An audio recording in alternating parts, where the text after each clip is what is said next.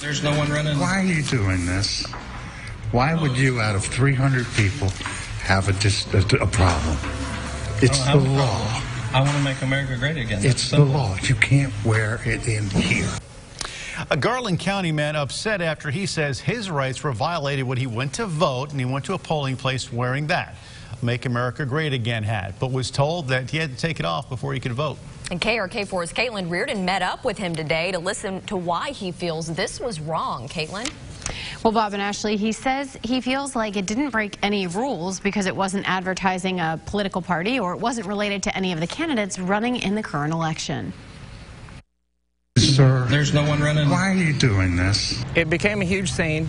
Everyone was gathered around watching, obviously. Making a huge scene wasn't what Mark Bates was going for when he wore his Make America Great Again hat into his Garland County polling place Tuesday. While in line, uh, one of the officials, like real loud over top of everyone, said, uh, "Hey, you can't you can't have that on in here. You have to take that off." It's the law. You can't wear it in here. Bates says at first he didn't want to remove the hat, but ultimately complied after the poll worker threatened to call the police to have him removed. I'll call the police. That's the next step. Do you want to go that far? Instead of relinquishing my right to vote and not making my vote count, I took the hat off and continued to vote. Give me your last name. Bates. But Bates says that wasn't the end of it. He felt his rights were violated. It didn't break any rules. According to the Garland County Election Commission, they train their poll workers according to state law on what is considered electioneering. State law says it includes attempting to win votes by wearing campaign buttons, caps, shirts, signs, or other articles of influence.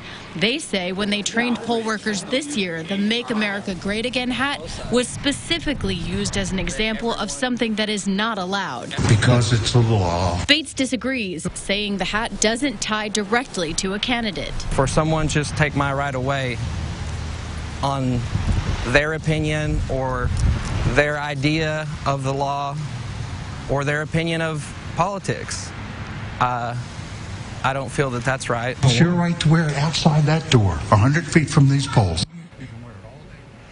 Now, the Garland County Election Commission says that it's ultimately up to the chief judge at each polling place to make that final call on what's allowed. Bates says he plans to file a complaint and seek legal action.